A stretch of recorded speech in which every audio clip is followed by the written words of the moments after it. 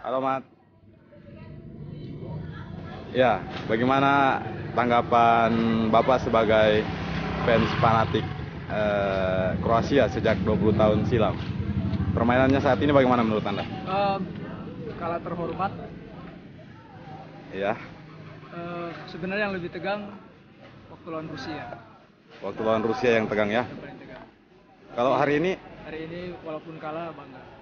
Bangga, Paling tidak seluruh dunia selalu tahu bahwa Kroasia hebat. Patut diperhitungkan. Iya. iya. Sebagai, sebagai apa? fans Kroasia sejak lama dari zaman SMP. Anda patut berbangga ya. Iya. Oke. Ya, ya. Akhirnya saya bisa membuktikan orang-orang yang selama ini merasa heran dengan saya yang selalu menjagokan Kroasia di Euro, di Piala Dunia, di main PlayStation pun tetap Kroasia terus dari dulu sampai sekarang.